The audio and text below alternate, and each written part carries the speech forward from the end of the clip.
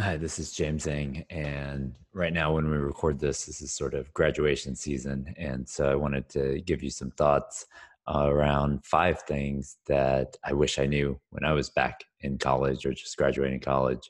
And so I want to start with this quote is compare yourself to who you were yesterday. Not other people, but compare yourself to who you were yesterday. So we're going to talk about the five things I wish I knew when I was at University of Texas at Austin. Um, number one is start something that builds skills and or relationships. So this can be an organization, a business, a conference, a blog, a channel, a meetup. Um, and when you do that, you will build skills and relationships, whether that's, you know, how to launch something, how to connect with other people, how to um, work with different people outside of your organization. Um, all those skills are things that you will need going forward. And when you do this, make sure there is a trail of work behind it because essentially now you are your own media company. There is nobody that you have to go to to ask to publish anything. And so when somebody Googles your name, what is what shows up on page one of Google, right? And how do you control that narrative when somebody um, looks up your name? And I mean, I would build something, you know, a lot of people do things that are, um, you know, look good on a resume or look good for um, potentially getting into college or potentially um, finding a job. But I would think about items that you are already passionate about, things that you are already in a state of flow and that give you um, something that essentially you would do if you weren't paid for it, if you weren't doing if you didn't have to do it for anything it's just for pure enjoyment um, find that thing start that thing. Number two one year from now you will be the same person you are today except the books you read the people you meet the podcasts you listen to and youtube channels you follow right? So seth godin's of the world the robert kiyosaki's the tim ferriss dan sullivan's naval ravikant gary vee howard marks. All those people are people that i haven't met any of those people right but I've read their books. I've listened to their podcasts. I follow their YouTube channels, right? And so I think um, that has accelerated just the learning, the lifelong learning that has to be a part of your mindset. And in terms of the top five, you know, when I think you're in school and the top five people that you are surrounded by, um, you know, your your GPA, if you average the top five people, your GPA is probably right around their average, right? And then when you leave school, your um, income, your net worth is pretty close to the average of the top five people that you hang around with.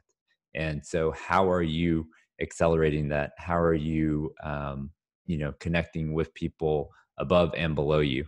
And um, you know, I think we, you know, in the past, you know, 12 to 18 months, I've been part of a mastermind, and I think um, learning with other people in a set format, whether it's weekly or monthly, um, is a very powerful tool. And that's something you should think about. And if you are part of one, um, think about starting in. If you are part of one, great.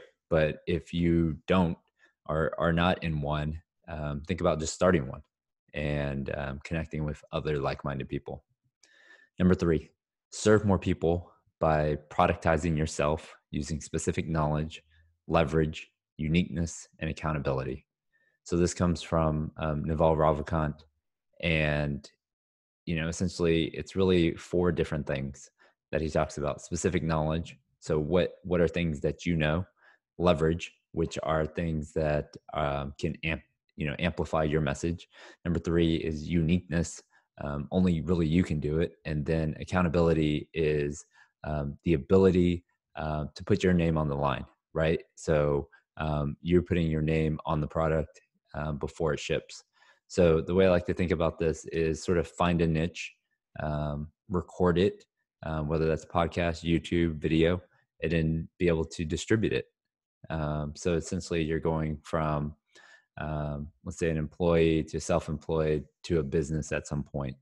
And you know, when I think about serving more people, you know, when I was at GE and you know that really I, my my audience the person i was serving was essentially my manager right so um, you know that was that was good uh, but it really was only one to two people at any one time And then when I came to Old Capital as a mortgage broker, I could serve an audience of people who are looking at um, financing deals and buying deals all throughout the nation, which was good. But then, you know, if you record a podcast or do a YouTube video, that can go to thousands of people um, all at once. And um, so I think as you as you grow and you're able to serve more people with your knowledge, right, and then use that with technology's leverage, I think that brings a whole level, uh, a whole nother level um, that you can do. Number four, the biggest mistake in school is being well rounded and taking tests on your own are the keys to success, right? So in school, you know, you're doing five or six different subjects, you're taking all these tests are your own, and that's the biggest uh, mistake, right? Because as soon as you leave school, uh, nobody cares that uh, you know they don't they don't come to me for golf advice, right? So they are looking for we reward the exceptional, right? And so when you search in Google for that one thing, um, Google is relentless because it only shows one person. It only shows one website, and so we reward the exceptional in the real world. And for you to be the best in the world, you probably have to have a team, right? You can't do it on your own. And so, um, building a team around you to become the best in the world um, is something that most schools do not teach. And so, um, unfortunately, that's the biggest mistake that you're going to have to learn. And hopefully, you can um, do that um, as you come out into the real world. And then, number five, every decision in life should move you from a laborer to a capitalist, right? So, a laborer is someone on the ENS side of the quadrant, per Robert Kiyosaki, that sort of is working for their money and eventually um, you are trying to transition to the BNI side, the business and the investor side.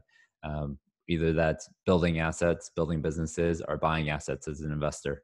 And so, um, you know, at first, when you're coming out of school, I think it's really around habits, right? So there's good habits of the rich and good habits um, and bad habits of the poor that you have to um, slowly um, integrate out of your life in order to buy and build assets.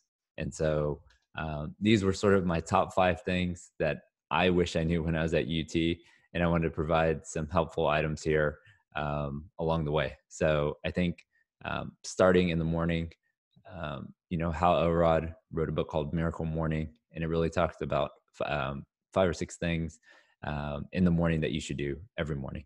And so whether these are 30 seconds or an hour each, it's up to you. And so it starts sort of around silence, affirmations, visualization, exercise, reading, and scribing. And I think if you do that every morning, it will change, um, you know, your entire day, which will translate into better months and better years. Number two is one thing. And in today's market, we are just inundated with the number of things that uh, we are told to do. And, you know, the one thing talks about what is that one thing that you can do that will make everything easier or unnecessary.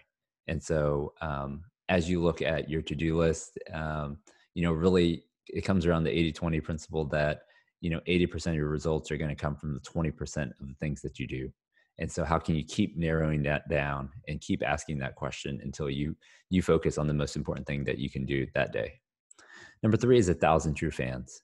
And so I think if um, you read about the long tail, um, it's not that everybody needs a million um, fans, a million subscribers. If you read the article by uh, by Kevin Kelly, he talks about how a lot of people um, they just need a thousand true fans that are part of their tribe and that will follow them. Number four is blue zones, and this was an interesting study that um, they did around you know so what areas of the world do people live the longest, right? Just naturally and they found some common themes around that. So natural exercise, plant-based diet, belonging to community with similar values, and purpose-driven. So I thought that was an interesting book to take a look at. And then number five, five regrets of the dying.